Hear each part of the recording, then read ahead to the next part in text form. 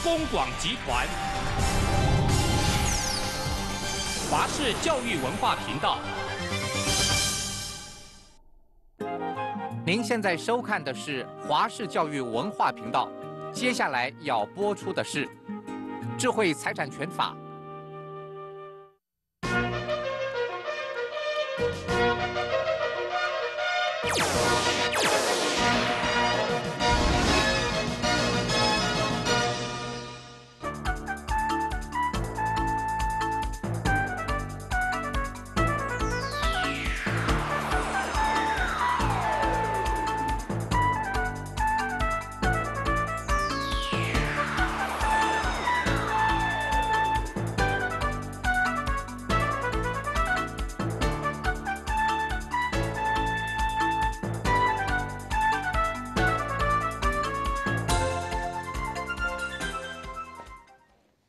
大家好，这是《智慧财产权法》第八讲次。今天我们要介绍的是著作权之合理使用及网络服务提供者之民事免责事由。我们一样先来介绍今天的讲授重点。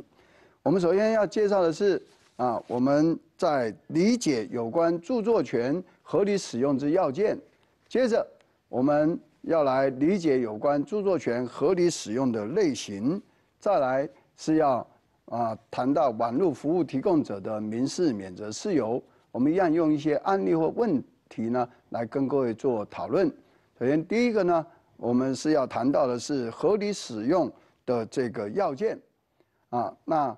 我们第一个问题是在民国一百零三年著作权法对六十五条的使用的规定做有如何的修正？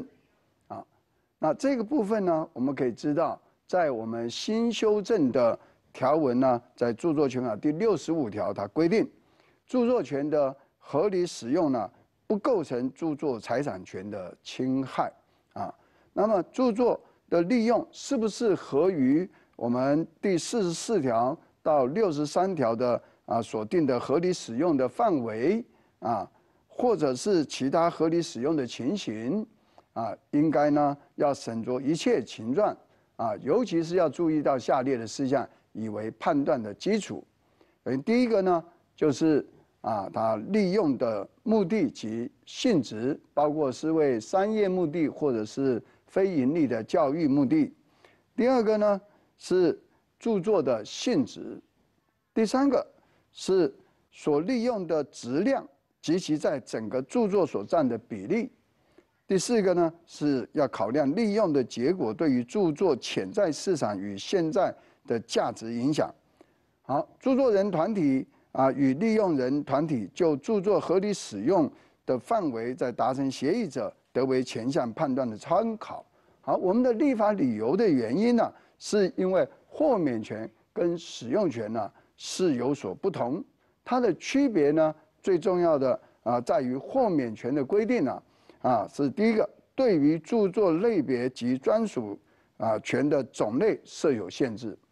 第二个呢，这个豁免权规定呢，只需考量到要件是不是符合即可构成。法院呢，它不需要再行斟酌其他合理使用的这个权衡要件。那我们著作权法呢，这这个条文呢，它这个原来的条文在合理使用之中的历史规定里面啊。存在有许多的条文，那这个许多的条文里面呢，有些是属于豁免的规定，而有些呢是属于合理使用的部分。如果是属于豁免的规定呢，那六十五条呢就没有呢啊这个智慧的这个余地了，就没有判断标准的这个余地了。那么因此呢啊就这个加以呢修正。那加以修正了以后呢，这个为了要区分，所以我们把它啊做了一些检测。啊，如果说啊，它是属于豁免的规定啊，那么我们就规定到豁免的规定啊。如果说是它是不是属于豁免的规定，那它才是我们六十五条所要规范的部分。因此呢，就将原条文的第二项啊，作为合于第四十四条到六十三条规定或其他的这个文字呢，修正为合于第四十四条至六十三条所定的合理范围或其他。把它做一个修正，就把这个合理使用啊的条文中有关于合理的范围规定则需依照第二项的这个四个基础了来标准来审视啊，以真明确啊，以真明确。所以我们可以看到这次的修正呢，它的原则上，它原则上呢是任何人是不可以去擅自的啊去使用著作人的著作，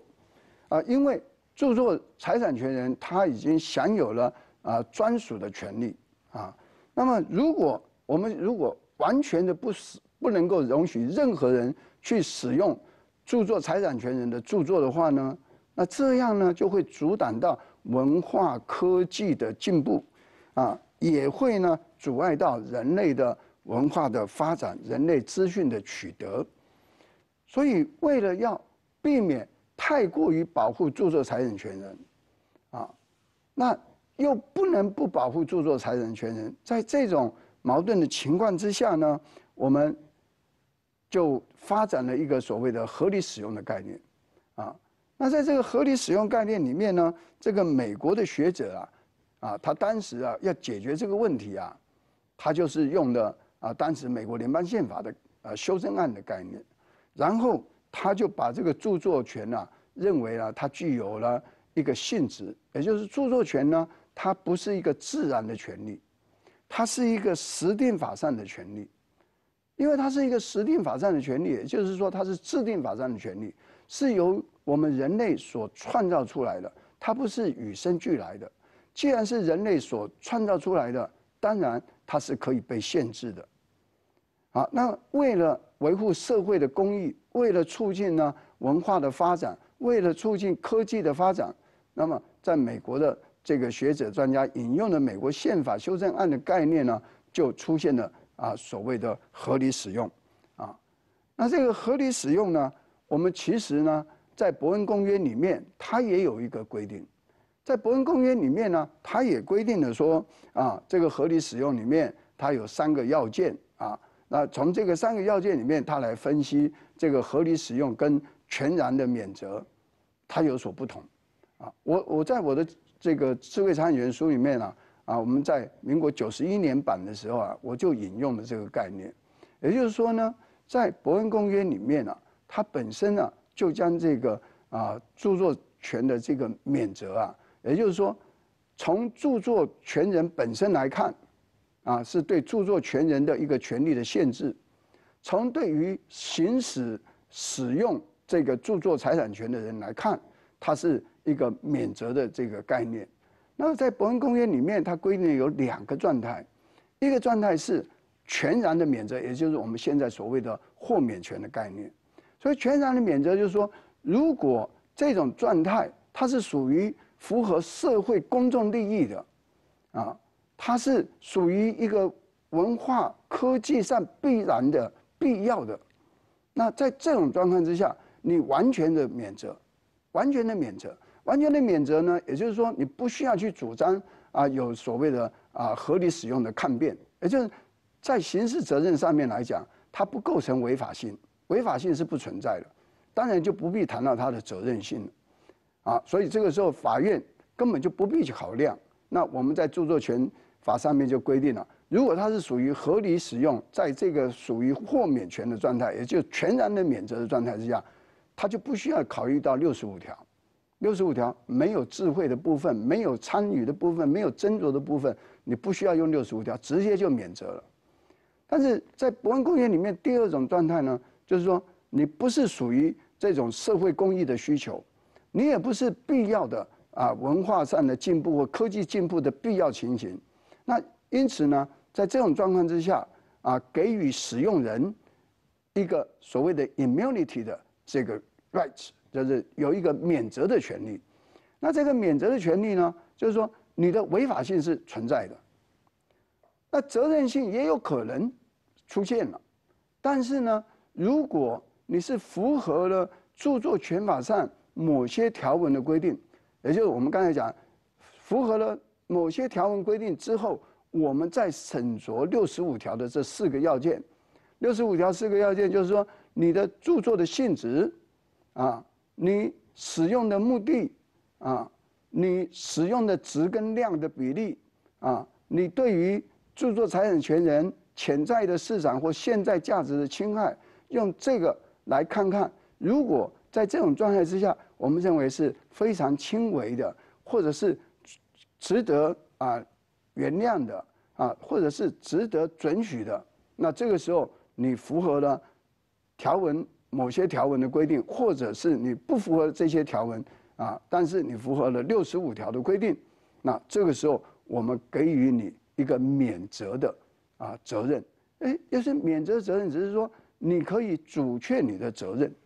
啊。减轻你的责任啊，所以在这次呢，我们修法的时候呢，实际上是有回复到伯恩公约的基本的理论啊，一个是全然免责的概念，一个是合理使用之下的免责概念。那全然免责概念就不需要再参考六十五条第二项，如果他今天是属于合理使用的免责概念的话，就必须要去参考我们合理使用的概念。啊，六十五条规定。好，那接着呢，我们来看看第二个问题。我们用一个案例来跟各位解说，请看 VCR。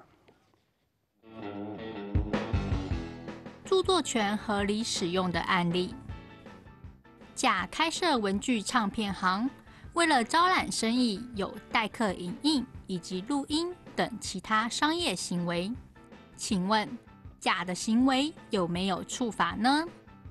另外，假使甲在店内标示自助影印、自助录音，这种情形又该如何评断呢？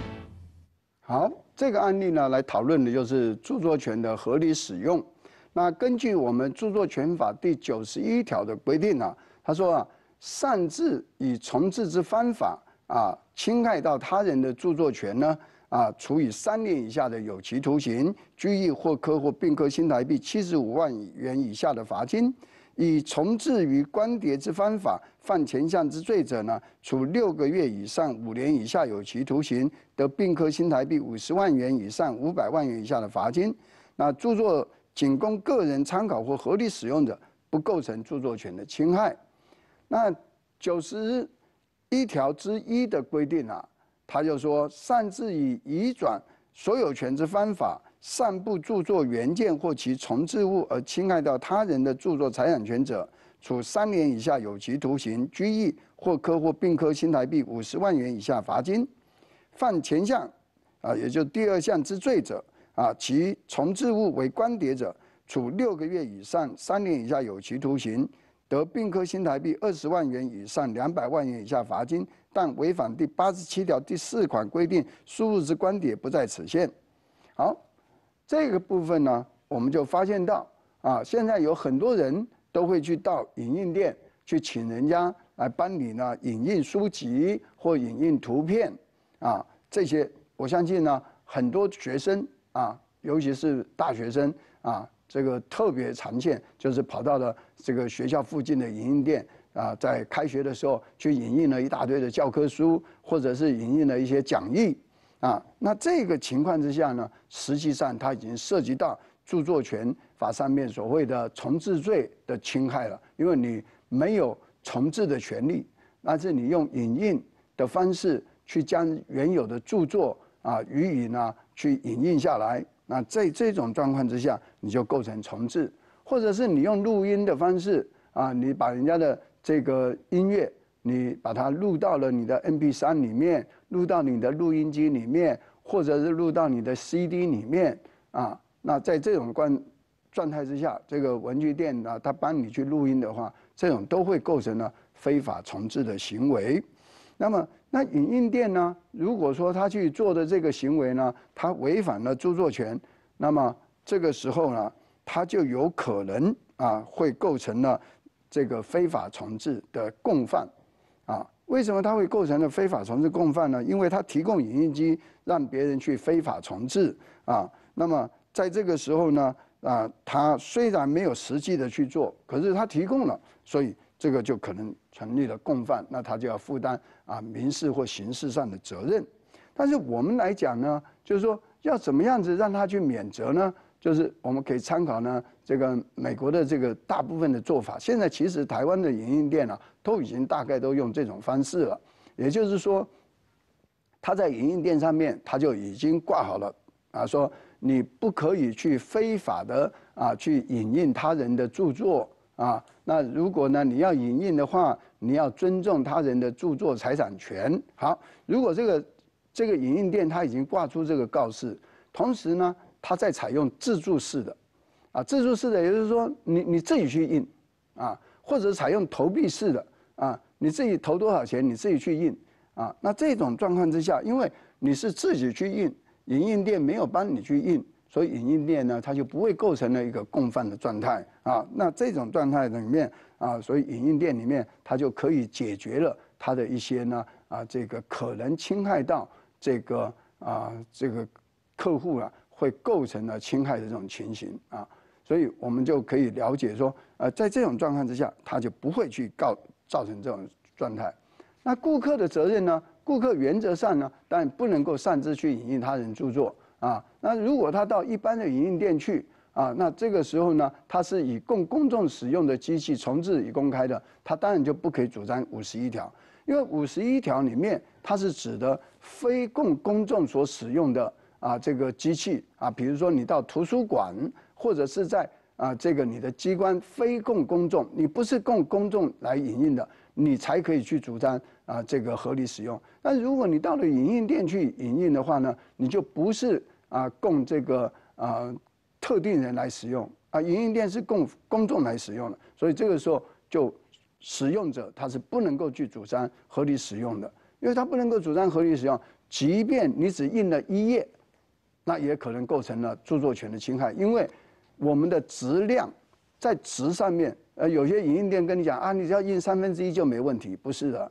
质量的比例不是看你的比例的量的比例是多少。你的值的比例实际上是看你对于著作财产权人潜在市场跟现在价值来恒定的，所以哪怕你只印了啊千分之一，但是也许因为这千分之一就是它整个精华的时候，那也许著作财产权人就可以对你来主张著作财产权的侵害，你构成了非法重置。好，接着呢，我们再来讨论到。啊，合理使用的类型，我们来看看第三个案例啊。第三个案例就是我们在中华民国呢一百零三年著作权法对于我们第五十三条的合理啊这个重置公开发表著作的条件做了有什么样子的修正。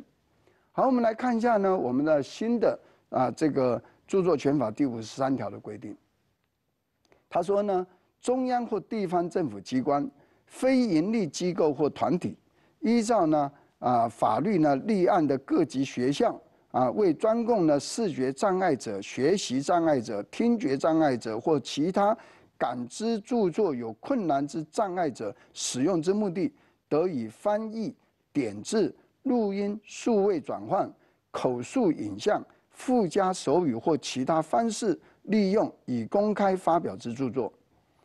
前项所定的障碍者。或其代理人为供该障碍者个人非营利使用，准用前项规定。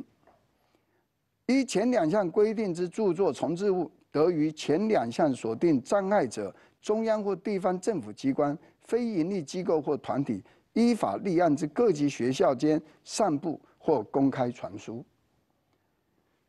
本案呢，实际上是在保障视听障碍者的福利而限制的一个合理使用。他的这个理由呢，是主要因为参考的这个 WIPO，就是 WIPO 啊，这个关于啊盲人啊视力障碍者或者是其他印刷品阅读障碍者啊，获得以出版作品提供便利的马拉喀什的条约第四条的规定啊，它的精神得重置无障碍格式的版本之利用主体，尚应包括政府机关或非营利机构。啊，那另外呢，这个为了专供受益人使用而可进行的利用行为，参考了 WIPO 的这个马拉格什的条约规定的利用方式没有限制啊，所以呢，这个我们做了一个修正，但是应该要参考啊，因应未来可能的趋势，它的科技发展，所以呢，增加了一个其他的方式的利用来修正了原条文。那在这个第二项里面呢，这个 WIPO 呢就。关于为盲人视力障碍者或者是其他印刷品啊，这个阅读障碍者获得以出版作品提供便利者的马拉克什条约的第四条的精神，啊，得重置无障碍格式版本的利用主体，包括了啊视障者的个人及其代理人，啊，供该视障者个人非营利使用，所以就明文规定。那么在第三项里面的这个，它依照它第四啊马拉格什公约第四条规定，对于无障碍格式的版本可以啊提供第一项受益人来。的使用啊，不限制它的流通方式。我们可以看到，它整个的规定，这一次五十三条的规定，它整个做一个修正，其中就是增加一些其他方法跟政府机关的这个部分呢。它主要就是为了要增进我们视障者啊的一个福利啊，让他对于视障者的这个限制，把它尽量的摆脱，让他能够有合理使用的空间。因为这是一个资讯自由的时代，啊，我们一般的正常人，我们可以透过了平面媒体，我们可以透过了电视广广播，我们可以电透过了电脑，啊，我们可以看到很多的资讯。但是呢，这些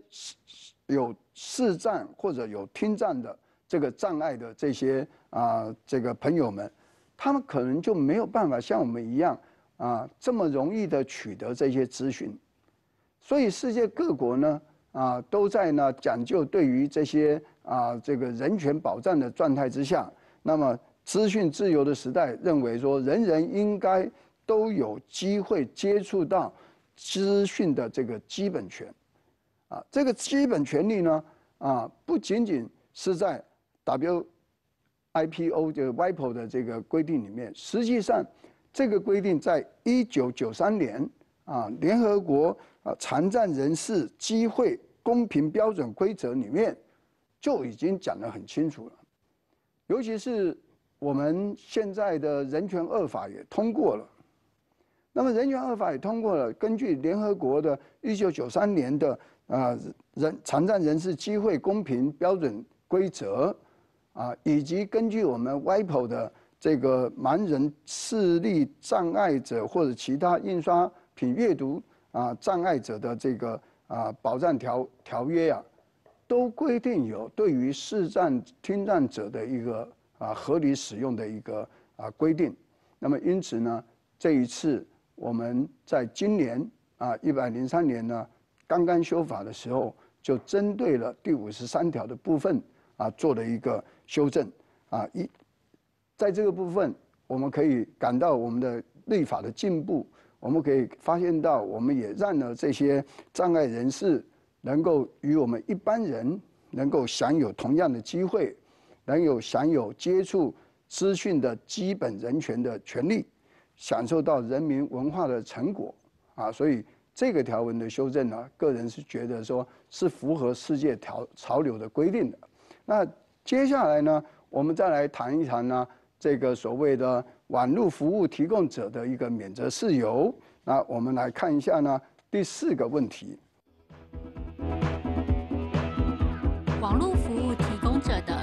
是免责事由案例。如果甲利用资讯储存服务提供者或搜寻服务提供者的网站。于其网站张贴一九六零年代的电影或一九九零年代的电影，网络服务提供者 ISP 是否可以主张民事免责？如果要主张民事免责，应该符合哪些规定呢？因为本案呢是涉及到有关于呢网络上播放的电影，那电影呢是一个视听著作。那在我们著作权法第三十四条里面的规定呢，如果摄影、视听、录音及表演啊之著作财产权存续至著作公开发表后五十年，但是著作在创作完成时起呢算五十年内未公开发表者，其著作财产权的存续呢自创作完成时起五十年。那我们现在呢这个案子里面有两个年代，一个是一九六零年代的电影。一个是一九九零年代的电影，那如果今天这个网络服务提供业者，他于二零一三年啊，在网络上粘贴的是一九六零年代的电影，那根据我们刚才谈到的著作权法第三十四条的规定呢，那我们可以知道，一九六零年代的电影到二零一三年呢，它已经超过了这个五十年。那超过五十年，它的存续期间呢就丧失了。啊，存续期间丧失以后，它就变成公共财，所以呢，任何人都可以呢自由的去使用、利用这个著作财产，这个著作啊，所以。在这个时候，如果网络业者他在网络上所粘贴的是一九六零年代的电影的话，那这个时候呢，啊，超过了五十年，所以它就不受保障了。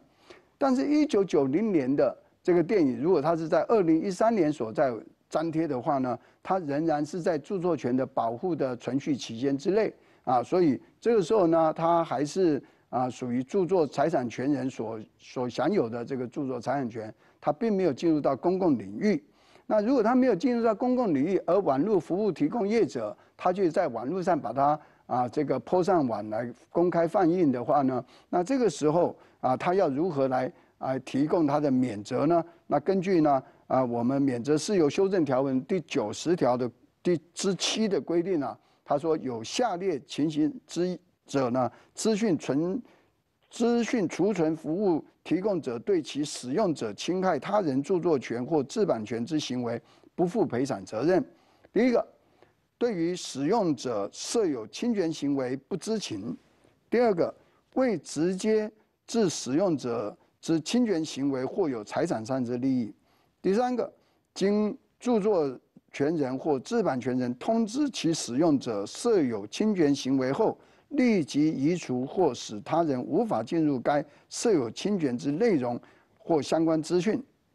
那九十条之八的第一款所称有下列情形者，搜寻服务啊提供者对于其使用者侵害他人著作权或制版权之行为不负赔偿责任。第一个，对于所搜寻或连接之资讯设有侵权不知情；第二个，未直接致使用。者之侵权行为或有财产上之利益。第三，经著作权人或制版权人通知其使用者之设有侵权行为后，立即移除或使他人无法啊进入该设有侵权之啊内容或相关资讯。所以，我们可以从这个九十条之八的第一款呢，我们知道它包括的两个部分。第一个呢，就是对于使用者具体啊利用其设备。服务从事侵权行为呢，他确属不知情。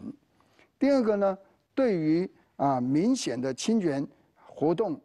相关背景事实，他没有办法去了解这种情形。那在这种情况之下呢，网络服务提供业者呢，他是不需要来负担这个责任的。好，那我们用举例来说，因为刚才条文呢，可能大家不是那么理解啊。那我现在用一个。啊，简单的例子来跟各位讲，比如说某一个知名的网站，假设它是资讯啊这个储存啊服务提供者，他如果他发现到啊现在在这个网站上面利用他这个网站来提供服务，然后他在他的这个网站上面呢粘贴了这个热门影院的影片，或者是粘贴了一些图片，那这个情况之下呢，假设。啊，他去粘贴，然后供其他网友来观赏或者自行下载，啊，那在这种观观念之下，因为这个使用者的行为呢，他已经很明显的啊，就侵害了这个啊他人的这个权利，所以在 ISP 呢这个业者呢，如果他很清楚一九九零年的这个影片在他的网络上面提供粘贴，供他人自由下载观赏。那这个时候，他就符合了我们刚才讲的这两个条文，他无从免责。但是如果说这个粘贴的这个影片是网络服务业者 ISP 他所不知道啊，这个是侵害到他人的话，那这个时候呢，他是可以免责的啊。所以这是我们所新增的一个规定啊。今天因为时间的关系呢，跟各位介绍这边，谢谢各位的收看，下次再见。